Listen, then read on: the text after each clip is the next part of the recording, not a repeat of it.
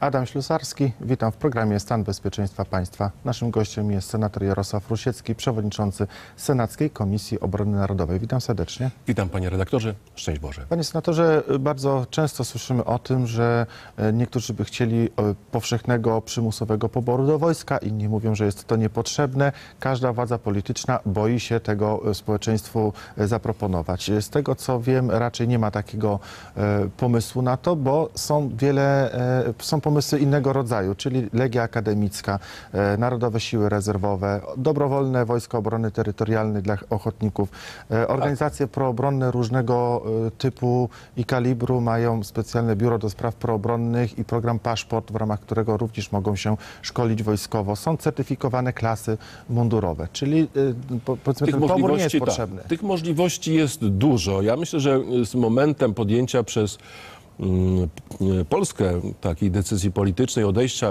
siły zbrojne odejścia od mm, mm, właśnie przymusowego poboru na rzecz zawodowej armii, a później nasza decyzja, która była zawarta w programie Prawa i Sprawiedliwości budowy Wojsk Obrony Terytorialnej o sile 53 tysięcy, w dużej mierze tą możliwość y, y, i zachętę do ochotniczej służby wojskowej y, spełnia.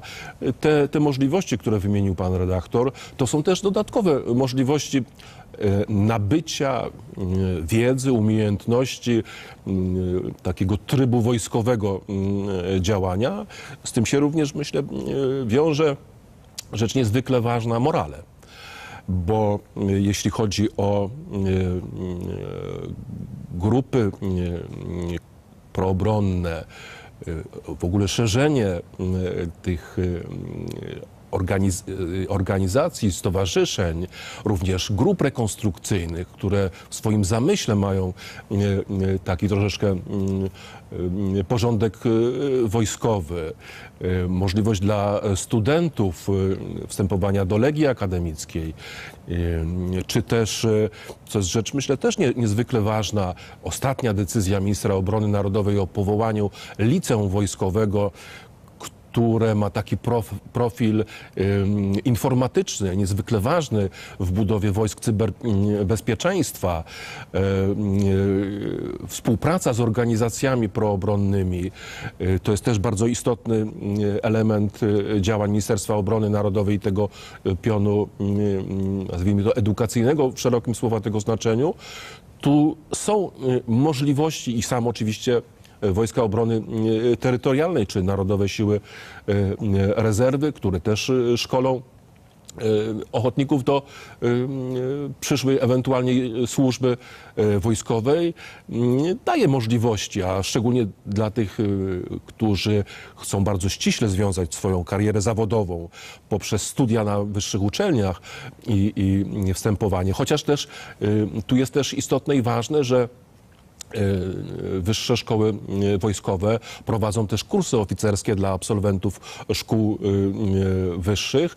E, To jest też rzecz e, e, ważna E, i myślę, że e, to wszystko pokazuje, że tych możliwości służenia e, w polskich siłach zbrojnych jest e, dużo.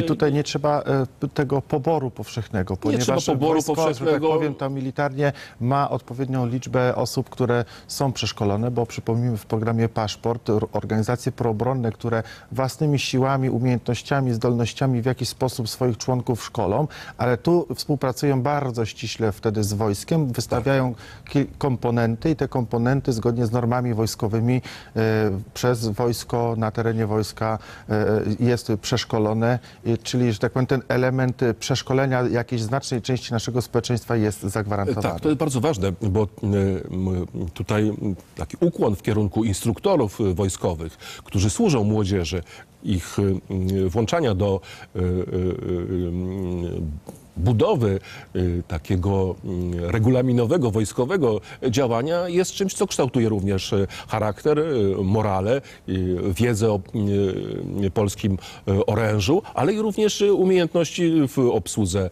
broni, tych działaniach y, poligonowych. I to robią y, bardzo często ludzie z pasją. Ludzie, którzy mają ogromną wiedzę, ale i też chęć y, służenia wyrażenia mm, wsparciu i, i, i pomocy dla tych mm, młodych ludzi, którzy y, y, y, garną się do polskich sił zbrojnych i myślę, że te możliwości są. Pamiętajmy również o tym, że niestety gdy następowały po, w tak zwanym okresie transformacji zmiany w polskich siłach zbrojnych, wiele jednostek zostało zamkniętych. Ten mm, e, komponent e, infrastruktury wojskowej w wielu przypadkach został już nieodwracalnie e, e, zamknięty. W tej chwili mamy nową jakość e, budowania i też i standardu funkcjonowania jednostek wojskowych na bardzo wysokim poziomie. I tu potrzeba, jak to zwykle bywa, no, wypośrodkowania tych możliwości budżetowych, bo co też warto e, powiedzieć, no, w siłach zbrojnych takim kluczowym określeniem jest etat. Etat to jest człowiek oczywiście, ale za tym idą również środki finansowe, które muszą być ogarnięte przez y, budżet przeznaczany na siły zbrojne. Ja, y, tutaj my jako rząd Prawa i Sprawiedliwości przeznaczamy z roku na rok od 2015 roku coraz więcej środków na, na y, polskie siły zbrojne, na, na modernizację, na tą infrastrukturę, ale również dla uposażenia dla żołnierzy y, i pracowników cywilnych. To są oczywiście koszty. Budowanie na nowo, czy powrót na nowo do, do mm, y, y, służby wojskowej nakazowej, myślę, że jest y, zamknięty, a te możliwości, o których mówiliśmy, są szerokie i dają każdemu młodemu człowiekowi y, szansę odpowiednim, po odpowiednim y, przeszkoleniu włączenia do y, polskich y, sił zbrojnych. A polskie siły zbrojne są za, zadowolone, że jednak i znaczna liczba ludzi jest przeszkolona e, zgodnie z normami wojskowymi. W razie W można na nich liczyć. Tak jest. Tu my oczywiście mówiliśmy i, i, dzisiaj również o poszerzaniu stanu osobowego poprzez WOT który następuje dynamicznie. W tej chwili jest ich ponad żołnierzy ponad y, 20 e, tysięcy, ale pamiętajmy o tym, że decyzją ministra obrony narodowej y, rozpoczęła się i trwa budowa 18, czwartej y, dywizji polskich sił zbrojnych na tej wschodniej części z dowództwem posadowionym w Siedlcach, gdzie jest promocja, gdzie jest akcja, zachęta do tego, że ci młodzi ludzie, którzy chcą służyć armii, mają takie możliwości, y, y, no, realizując y, swój, sw- swoje pasje i poszerzając swoje kompetencje. Takie możliwości również są.